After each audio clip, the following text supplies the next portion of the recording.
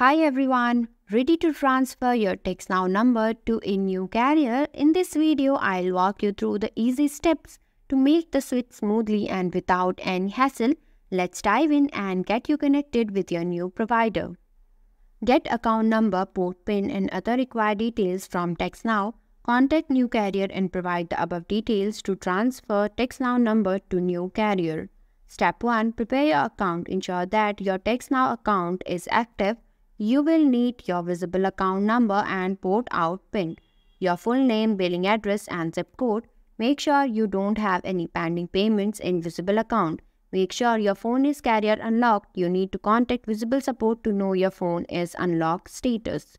Step 2. Get TextNow transfer PIN. Go to the TextNow website. I have provided the link in the description.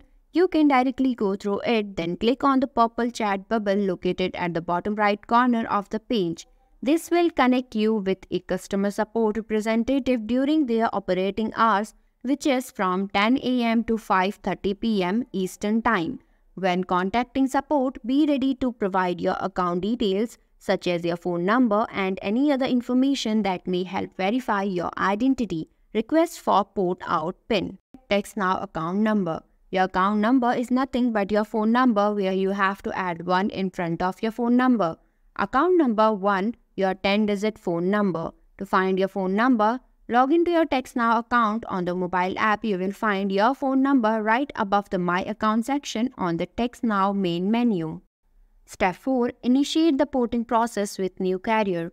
Once you have your account number and PIN, contact your new carrier and provide them with this information along with your TextNow phone number. Follow any additional instructions provided by your new carrier to complete the porting process. Step 5. Wait for completion. The porting process may take a few hours to couple of days. During this time, your TextNow number should still function until the transfer is finalized. Do not cancel the TextNow service until the porting process is successful. Thanks for watching. If you liked the video, please hit the like button. If you want to see more videos, hit the subscribe button.